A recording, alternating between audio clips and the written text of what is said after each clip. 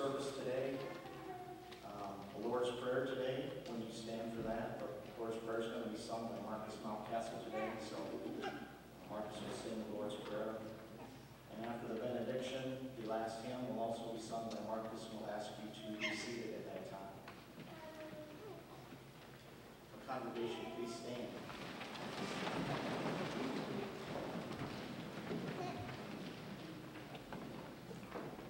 Blessed be the Holy Trinity, one God, who forgives all our sin, whose mercy endures forever. Amen. In the presence of God, who sees our hearts and our minds, let us confess our sin. God, our strength. We confess that we are captive to the power of sin that dwells within us. We put ourselves first and others last.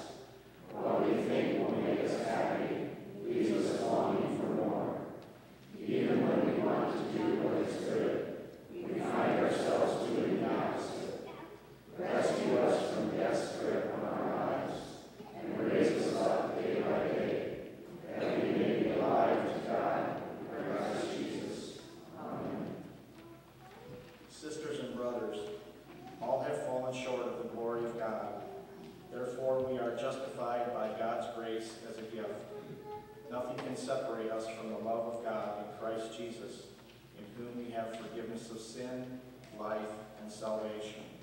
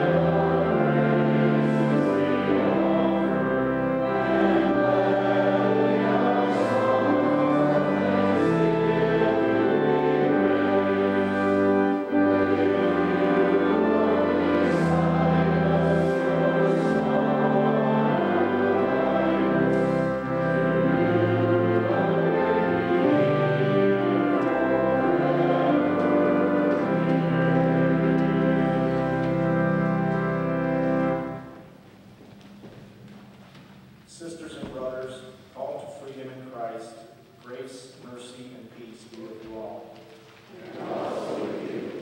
Let us pray. O God, your ears are open always to the prayers of your servants.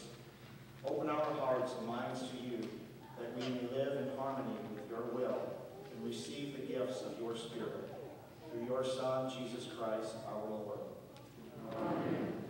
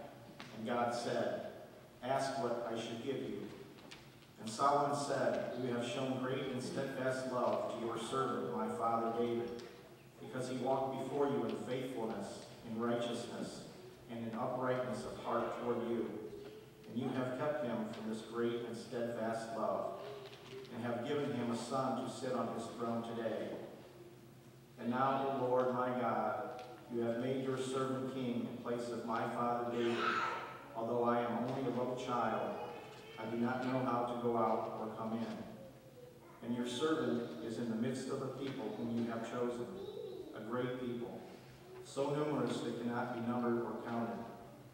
Give your servant, therefore, an understanding mind to govern your people, able to discern between good and evil, for who can govern this, your great people?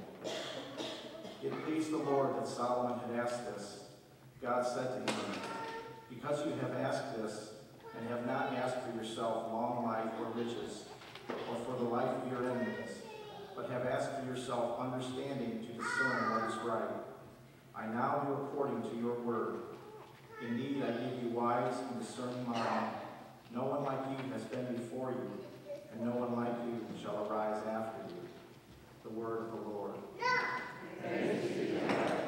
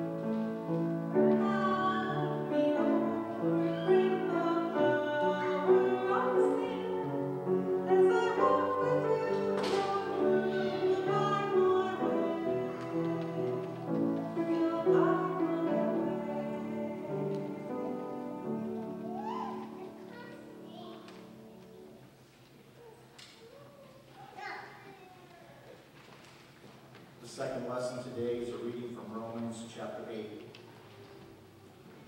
Likewise, the Spirit helps us in our weakness, for we do not know how to pray as we ought.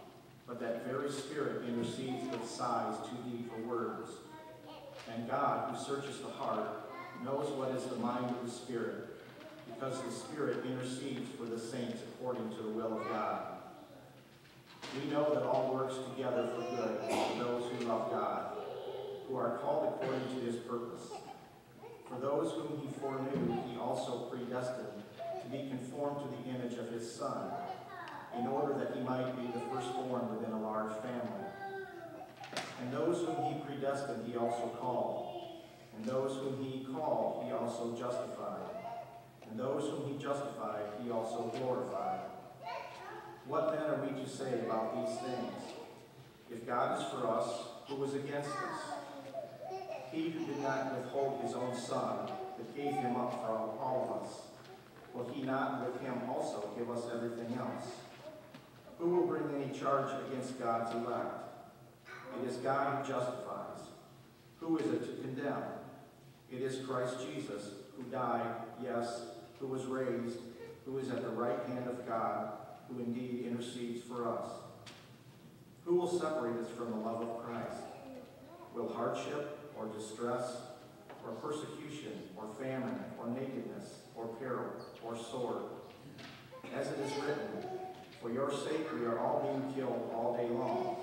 We are accounted as sheep to be slaughtered.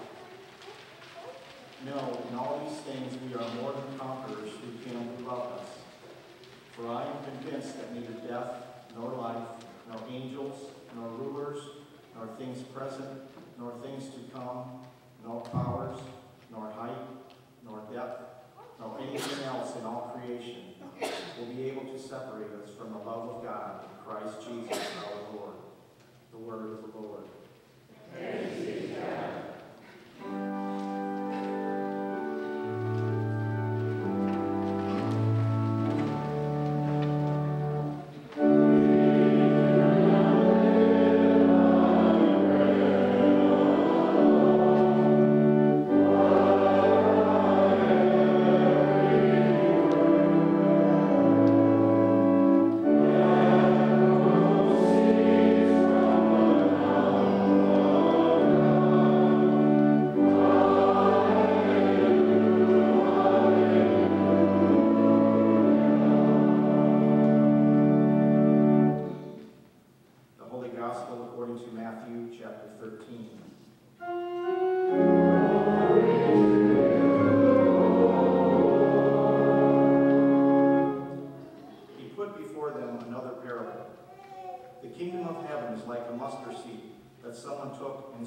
His field.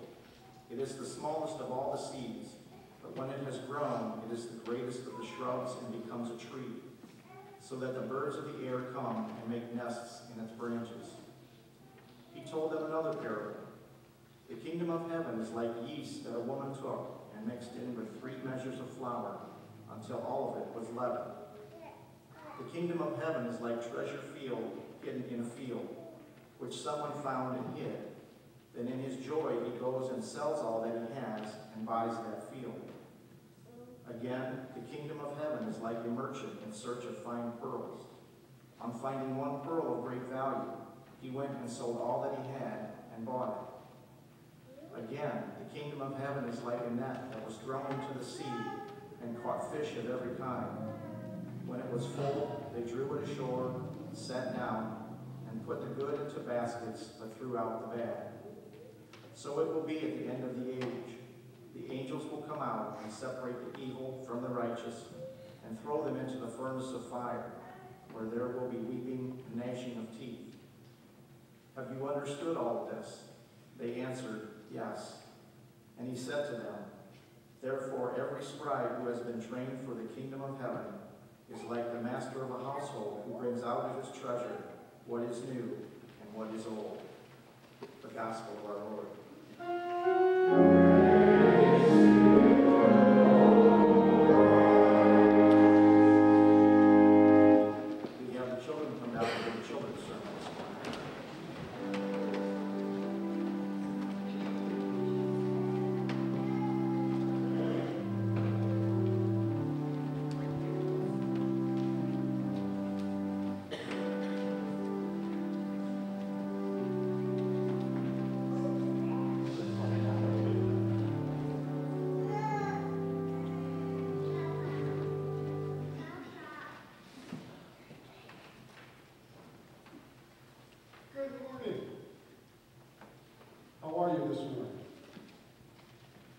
Say, I'm not too sure. I'm a different guy, aren't I? Yeah, yeah. Well, hey, it's good to see all you guys this morning. You know, in the gospel this morning, Bill talked about Jesus talking in parables. And he talked about the mustard seed, how the kingdom of heaven is like a mustard seed. Have you ever seen a mustard seed? Have you? You might have. Yeah. You didn't? Pastor has a mustard seed, and I forgot to ask him for it, so I don't have a mustard seed with me. But I've got some other seeds. I've got some other seeds. The mustard seed is real, real tiny. Real tiny. But I think I found even some tinier seeds than that. Have you ever heard of asters, flowers? No? See, that's what they look like right there. When they're full grown. That's, what color is that? I think that's purple. I think that's purple. That color, that's white. That's white, that's pink, that's purple, and that's white. Okay? Now, have you ever seen, have you ever seen seeds this small? Those are pretty small, aren't they? Yeah, kind of like a wildflower, that's right.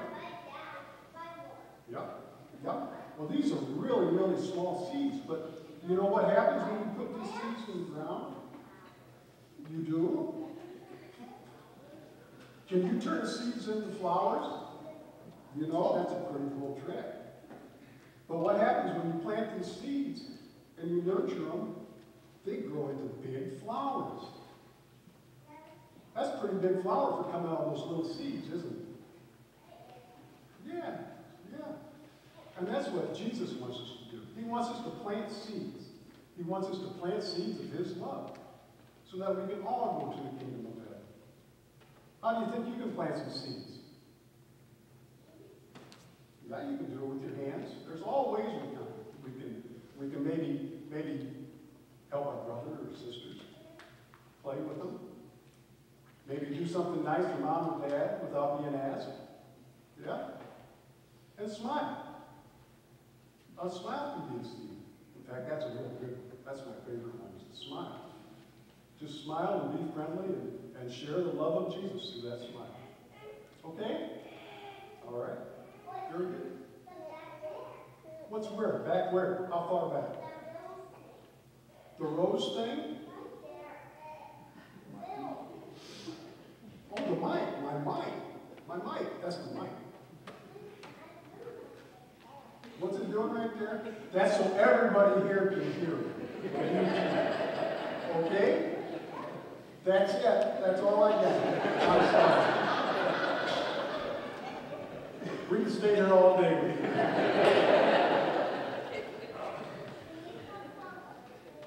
How about we talk about other things next week? Unless you got something better to do, Bill. We'll talk about next time you come, okay? All right. Abby's got some children's bulletins for you, okay? So make sure you pick one up. And remember to smile.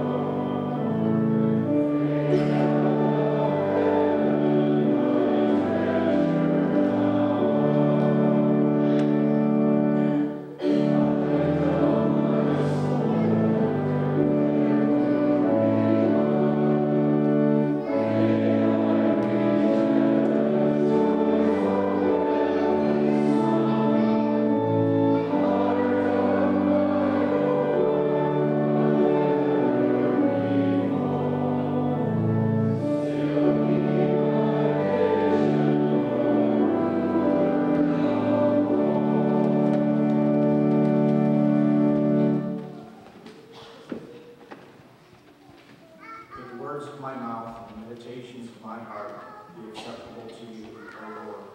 Amen. You know, when I was walking over here, my last thought was, today would be a very bad day to doze off during the sermon. The other day I was outside doing some yard work and I was listening to my radio. I usually listen to WBCL. And I heard a song that I thought I knew pretty well. So I started singing along. And I got to a part of the song that I wasn't quite sure what the word was. It just didn't make any sense to the song. So when I got done with my yard work, I went inside, got on the computer, looked that song up on YouTube to see what the lyrics were. Now when I saw what the actual words were, compared to what I thought the words were, I was surprised. What my ears heard and what my mind thought were two completely different things. Have you ever thought you heard something, and when you find out what was actually said, changes the whole meaning of what was said and what you thought you heard? Now I know that sounds confusing, so let me ask this question. What do you hear and what does your mind think when you hear the word service? You think of the military service? You think of the service you got from a waiter or waitress at dinner last night? You think of taking your car to the dealership to be serviced? Or did you think of service to our Lord and Savior, Jesus Christ? I'm sure you've all heard the phrase, to be a servant of God. So when we think God is telling us something, is, that, is it actually what he wants us to do? What does it mean to be a servant of God? When you look up the word service in Haley's Bible Dictionary, it says, Service refers to all sorts of work for the most inferior or menial to the most honored and exalted. It also says that a servant is, of course, one who serves. So how do you serve God?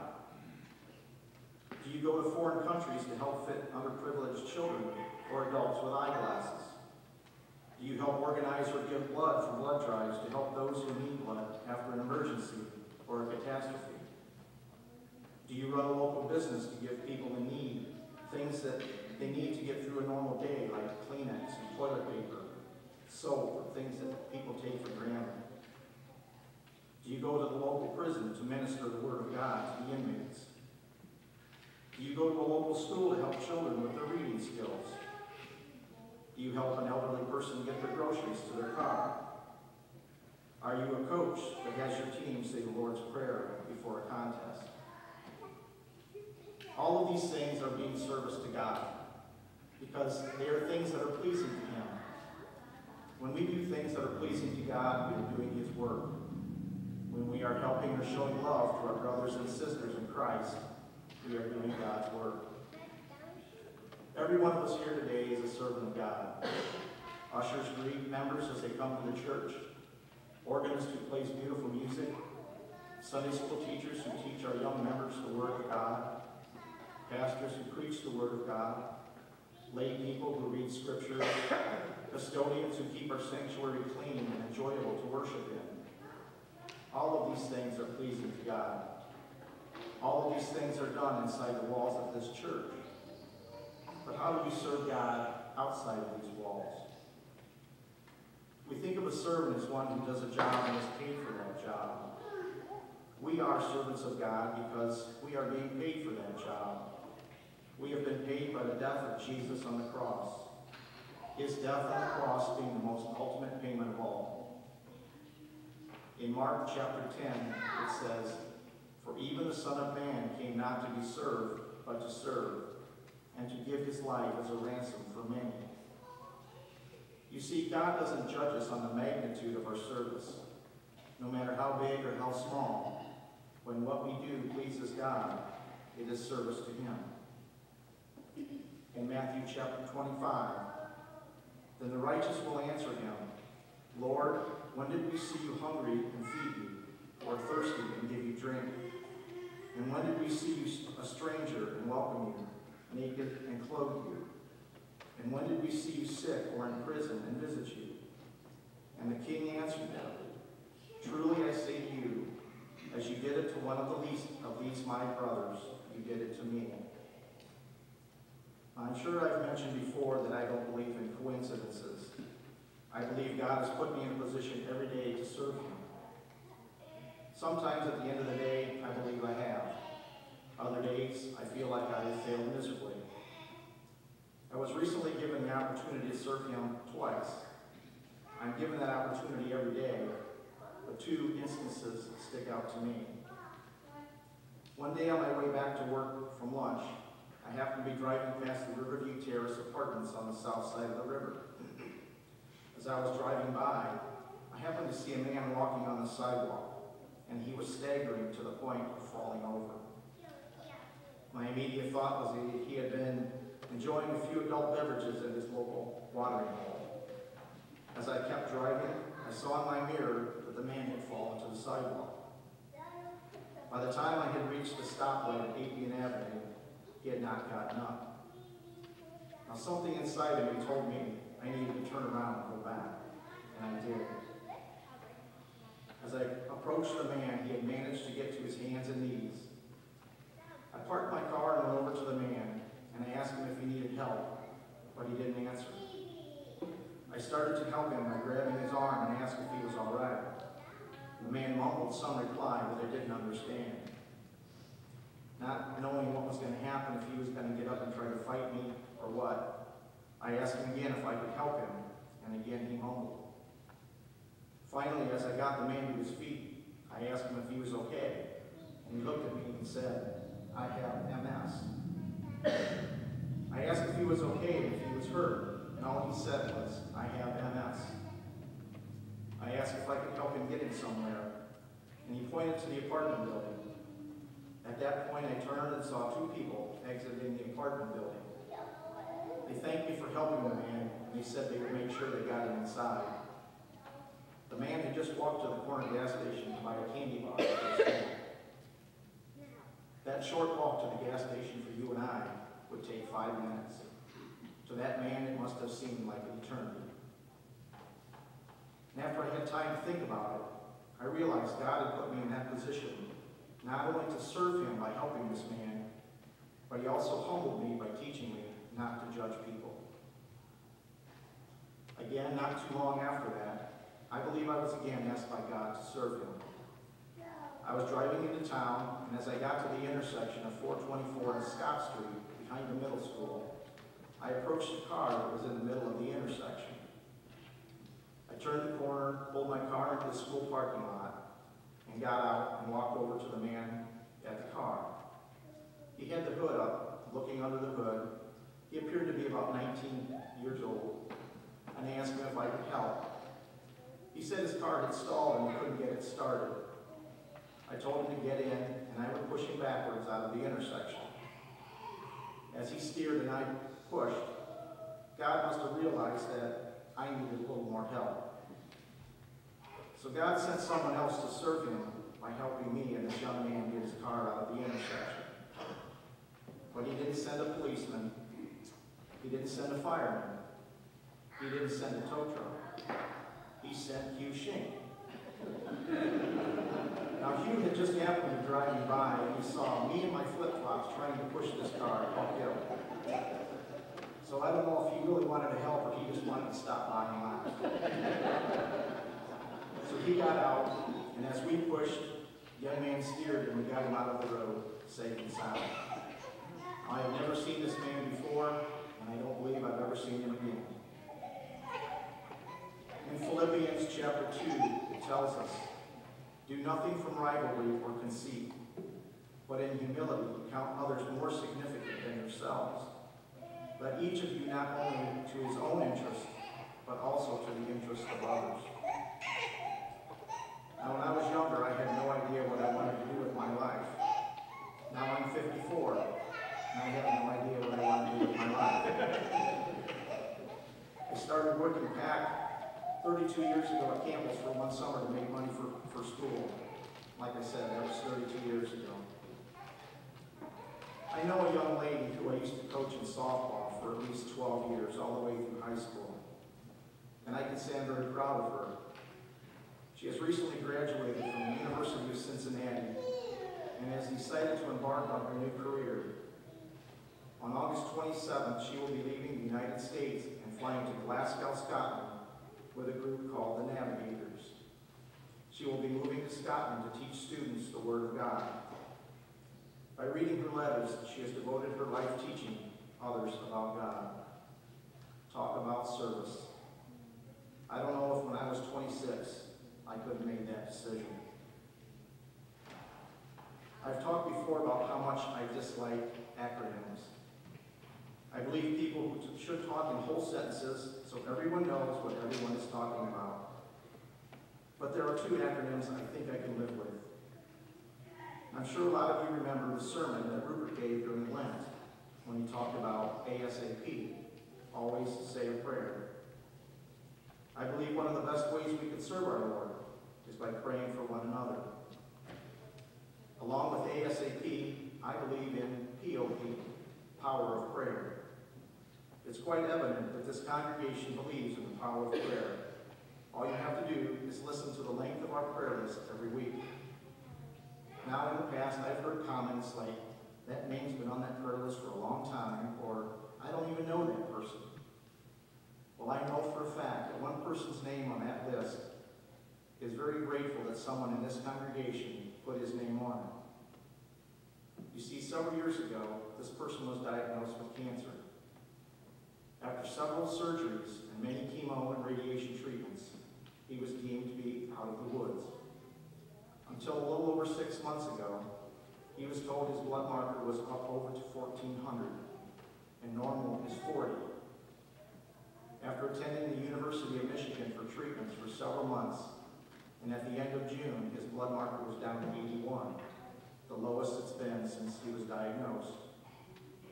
Some of the small tumors he had don't even show up on the CT scan anymore, and the larger ones are showing no signs of activity.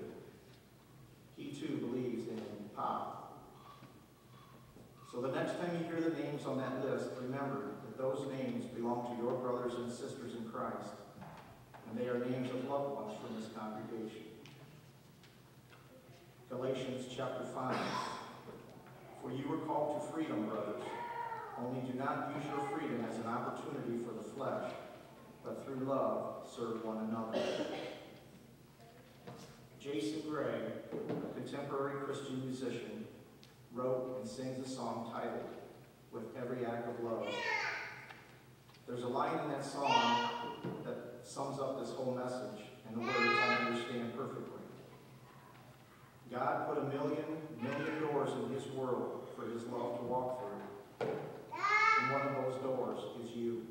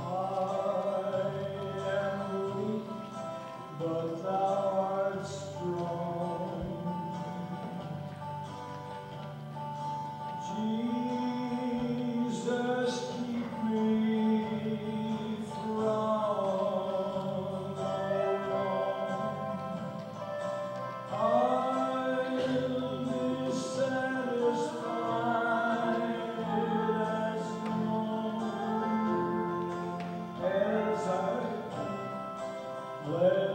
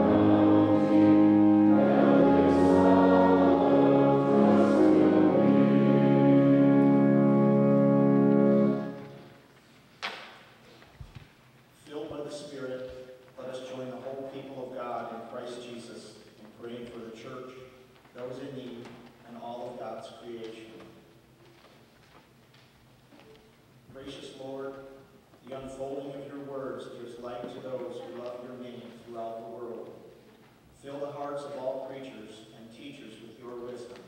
Lord, in your mercy. Your earth is filled with abundant life, fish, animals, and plants of all shapes and sizes, from the smallest shrub to the greatest tree. Teach us to conserve these gifts for the benefit of all. Lord, in your mercy. Righteous God, people of all nations clamor for justice. Give their leaders understanding minds to discern between good and evil, govern wisely, and listen to their suffering people. Lord, in your mercy. Search our hearts and minds and open the doors of this congregation to those who seek refuge or need a place to belong, that all who come to us find shelter in our life together. Lord, in your mercy. Your face shines upon those faithful servants who now rest with you in your heavenly kingdom. Remind us that neither death nor life can separate us from your love in Christ Jesus.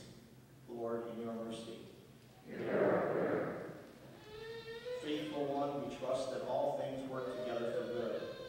Bring hope to those who have no job, who have no place to call home, or who are in any special need. We pray for Amber Lucas, Mary Marion, Bonnie Palomara, Linda, Kim Porter, Jackie, Bob and Esther Denny, Marjorie Downs, Alfred and Rita Priggy, Terry Doda, Josh Badenhop, Rudy and Ann Raby, Kelly Garst, Don and Susan Dravis, Susan Allen, Pat Badenhop, Beth Jenny, Panning, Josh Bevel, Louisa Bevel, Sandy Borselman, Russ Van Meter, Sandy Bosselman, Hayden Michaelis, Lorna Bosselman, Cass Golden, Norbert Brandt, Roma Brown, Valerie, Jane Young, Jeff Brown, Anna Long, Colleen Cable, Juanita Clausen, Lucy Zwiebel, the family of Jordan James, family of Jean Mater, Stephen, Paul Kuzno, Jeannie Curtis, Ron Dockenhouse, Dave and Betty Meyer, Ruby Eichhoff, Eleanor Engler, Crystal Garcia, Allie Grace Small, Linda Hill, Richard Hoover, Alexa Jennings, Irene Cordes, Mary Brown, Joshua Jenny, Dustin Brown, Audrey Schrader, Lucas King, Fred Close, Len Colby, Marnie Kreider, Alice Langenhoff, Brent Leiter, Sarah Lenhart, Tammy Porter, Paul Long, Mary Lou Zwiebel, Ken Ludeman, Linda Luffs, Ben Michaelis, Jamie Bosselman, Mildred Miller, Emma Myers, Lois Weekers, Shirley Myers Fages, Betsy Nix, Donna Norton, Alice Overhouse, Paul Canning, Carol Bearline, Leota Pedraza,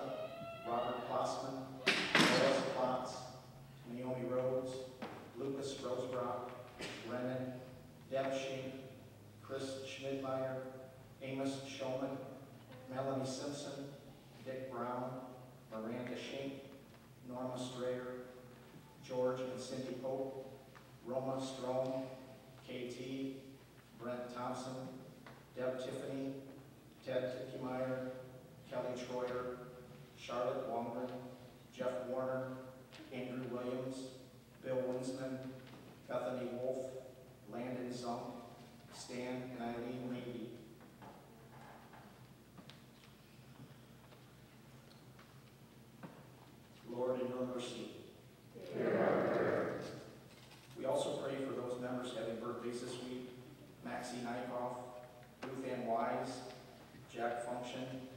Jamie Glick, Gene Walters, Rachel Hoops, Marvin Brady, Daryl Jones, Joanne Denny, and Jenna Pepper.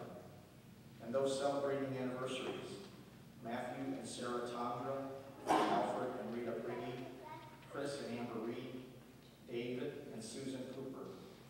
And for those serving in our military, Mike DeMache, Elizabeth Yoder, Tyler Hayes, and Jessica Reed. Into your loving hands, gracious God, we commend all for whom we pray, trusting in your abundant mercy through Jesus Christ, our Lord. Amen.